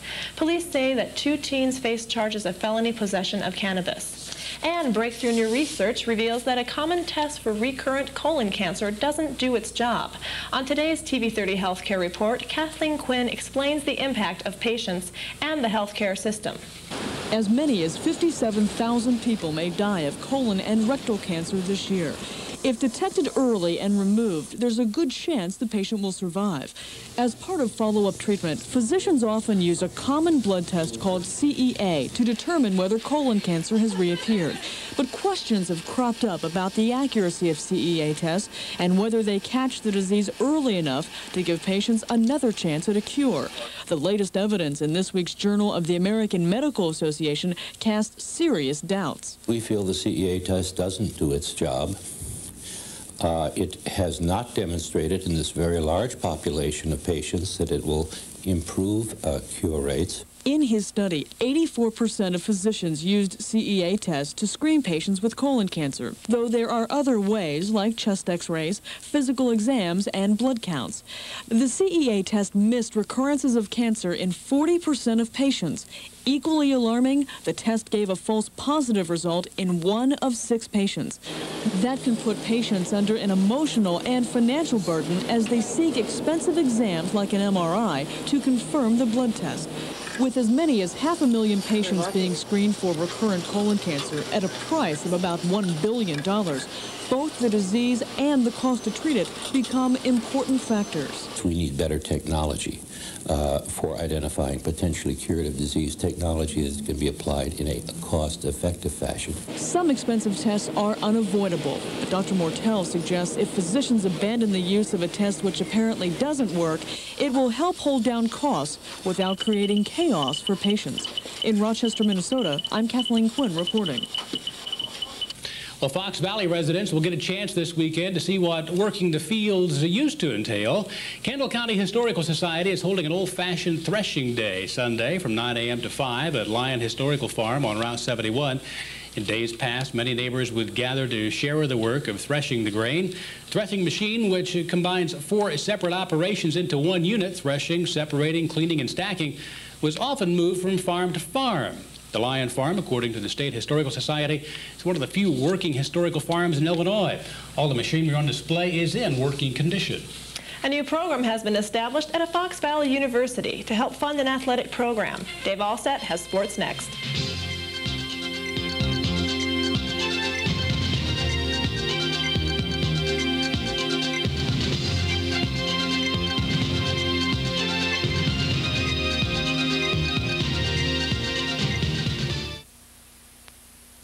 What brings you to Claussen? I'm looking to cook pickles. I'm a pickle cook. We don't cook our pickles. Why don't you cook your pickles? It's just a matter of taste. Unlike most pickles, Claussen pickles are never cooked. They're always cold, always crisp, always delicious. Don't cook your pickles. That's funny. Top off a plain old salad with delicious cheddar cheese, and you know what your family will say. Cheddar cheese? Yum. Great salad, hon. Mom, more cheddar. That's better. Cheddar makes everything better. I remember when he was working on this piece, he was searching for something. Ah, this is one of his earlier works. It's bold, it's simple, it's... It's some guy's jacket. When your stomach takes a wrong turn, there's no faster or better relief than extra strength Maalox. That's why Maalox moments Any opinions on the broom closet? only last a moment. Protect your treasured dining room tabletop from burns, hot serving dishes, scratches, and stains with a custom table pad. These deluxe table pads are from the number one maker of table pads in the country. Factory Direct Table Pad Company has been protecting fine dining room tables like yours for years. And by ordering your table pad direct from the factory, your cost is as low as $29.95. Compare that to identical pads costing $100 or more. How did they do it? By eliminating the high markup charged by retail stores. Order your pad direct from the factory and save up to 70% off the retail price. All pads are fully insulated with soft cotton felt bottoms and are available in almost any wood grain or solid color. They fold for easy storage, are guaranteed to fit any shaped table, and carry a factory guarantee of up to 20 years. Don't risk damage to your table another day. Protect it forever and add a touch of elegance with a custom table pad starting from only $29.95. Call now and we'll send you free samples of our table pads, plus information on how to save up to 70% on your deluxe dining room table pad. Call 1-800-527-6800. That's 1-800-527-6800. Call now. Well, North Central College is trying to implement a new club to help generate some excitement in their football program at NCC. The 12th Man Club will kick off activities for the 1993 season with a pigskin picnic on the lawn of the college presidents at North Central College next Friday night, beginning at 6 o'clock. The club is to generate interest in the program and assist in raising needed funds. Anyone interested in joining the club can contact head coach Bill Mack at Merner Fieldhouse at area code 708-420-3440. Well, according to Mets team president Fred Wilpon, Vice, uh, Vince Coleman, excuse me, will never wear a Mets uniform again, even if he is cleared of those felony charges in Los Angeles. Coleman has one year left on his four-year, $12 million deal. Wilpon says, and I quote, the Mets have the right to act, release, trade, or fight him on his contract. Presently, Coleman is on administrative leave with pay until his October 8th court date. Well, last night we reported that Dennis Martinez of the Montreal Expos would be heading to Atlanta, but apparently Martinez has exercised his right of a refusal as a 10 and 5 man. Martinez, being a 10-year Major League veteran and five years with his current, current club, has the right of refusal on any trades and could not see where he fit into the Braves' starting pitching rotation. Speculation is that the Braves originally made the deal to prevent the Giants from uh, making the same trade. Well, Sean Burroughs, who's the son of former Major Leaguer Jeff Burroughs, pitched his second consecutive no-hitter as Long Beach defeated Bedford, New Hampshire 11 to nothing to advance to tomorrow's Little League Championship game. And not to be outdone, the Panama team defeated Germany 6 to nothing in the other semifinal game. Yes, it was another no-hitter. Well, players have been known to show their emotions on the field. When upset, even big leaguers can pull bonehead mistakes. And kids, don't try this at home. Kids, no matter how frustrated you may get, please don't try this at home. And McDowell threw the ball away. Oh, what a crazy play. Roger McDowell just threw the ball away. He was so upset. I never saw that before, I don't think. That's what I like about the game. It's different every time. Well, the Fox Valley YMCA has announced that they will be offering two new adult sports programs this September. Adult fall football will begin September 4th. Sign-ups may be made by a team or individually. Games are, are to be played on Saturday afternoons with teams limited to eight players uh, at a time and 11-player roster. The YMCA is also introducing a men's three-on-three basketball league. Teams are to have a maximum of five players on a roster. Standings will be kept and awards will be given to the top two teams. A couple of rules you may want to know about. Games are half court, played two quarters per night, and players must call their own fouls. And that could prove interesting. The three-on-three season will run from September 15th till October 20th. For more information, please call the Fox Valley Family YMCA at area code 708-552-4100. Well, the YMCA in Plano is also announcing some youth sports programs new this fall. Uh, outdoor youth soccer league for grades 1 through 4, and flag football for those in grades 3rd through 6th. All games are to be played on Saturdays with a registration deadline of September 4th. The Y takes pride in their fair play philosophy. Everyone that signs up will play. There are no tryouts, and teams meet weekly for a one-hour practice, and all games are played on weekends. Again, the number at the Fox Valley YMCA is area code 708-552-4100. Well, in high school golf yesterday at Phillips Park, Aurora Central Catholic won its own event with a team score of 177. Oswego followed with a 182, and Sandwich finished in third with a 183. Chris Peterson of Oswego was the individual medal winner with a 39. And a couple of program notes, don't forget that tonight at 11.30 and on Saturday mornings at 11, you can see Bill Wyatt's Sports Challenge return here on TV 30. Catch all the fun as Bill tries to match his sports skills each week with his special guest. And that's a look at sports for a Friday evening. Have a great weekend. And thank you, Dave. Well, more pleasant weather is in store for the weekend. Forecast is coming up next.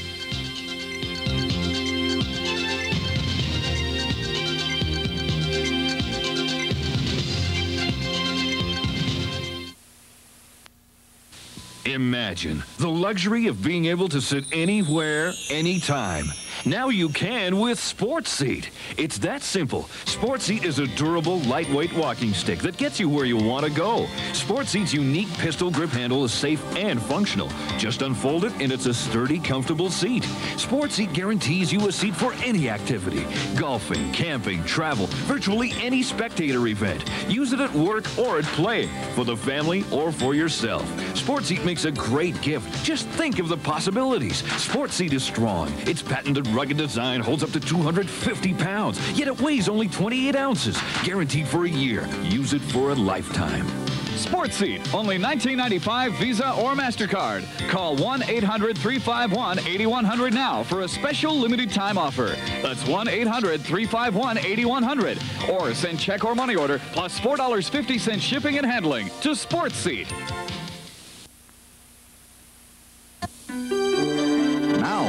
Maalox comes in a brand new flavor.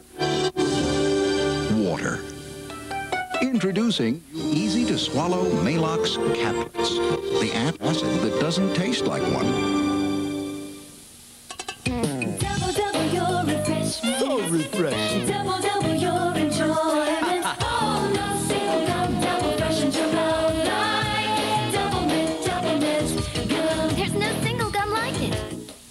Dieters have different needs, so Acutrim made different formulas. My appetite was humongous before Acutrim Maximum Strength. I would lose my willpower after 3 p.m. until late day. If it weren't for 16 hour, I'd eat all day and all night. Acutrim, one is right for you.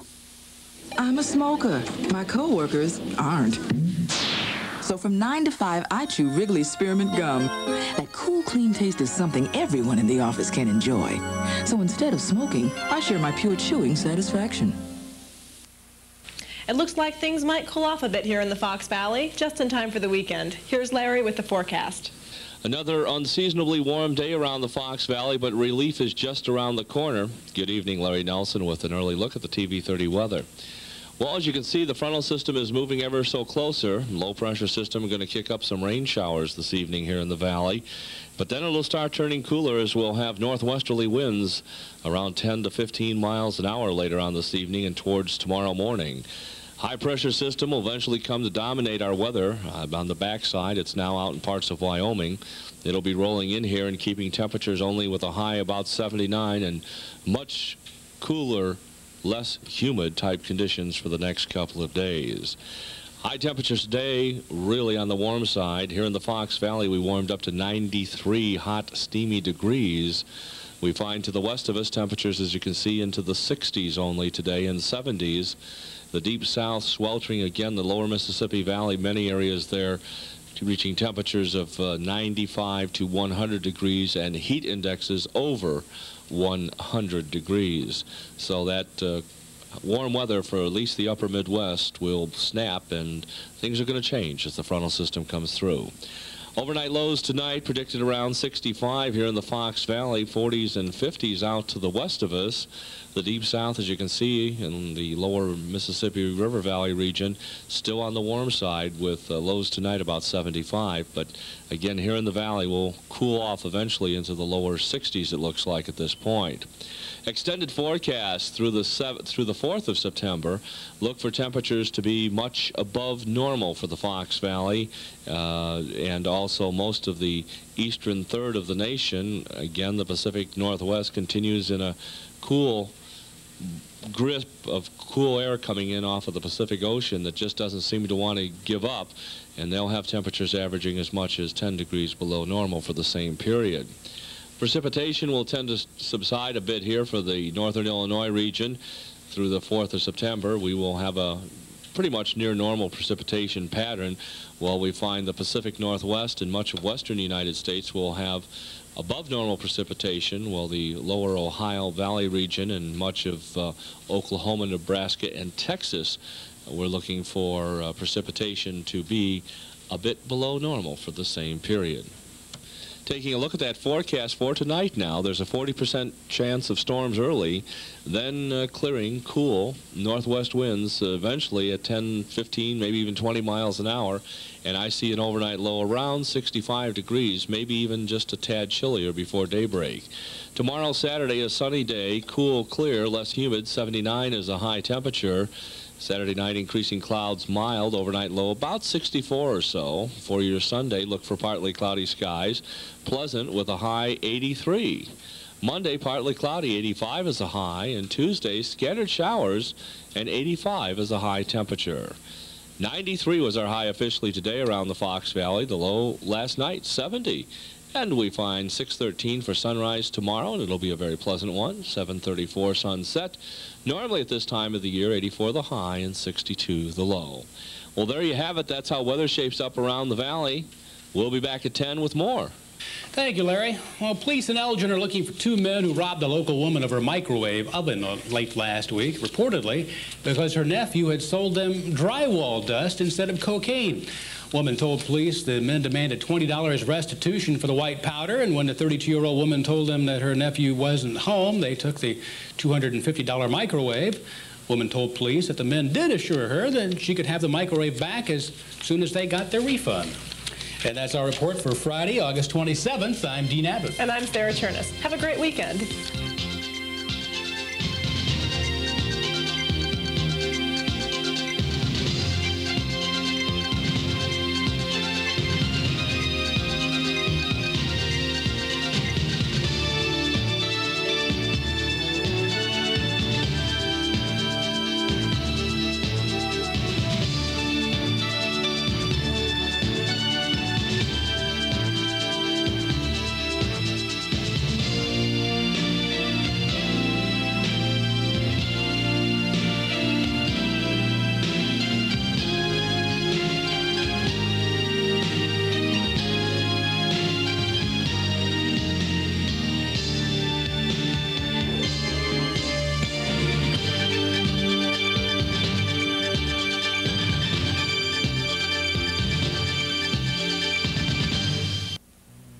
Montgomery and all of the Fox Valley, this is WFXV TV 30.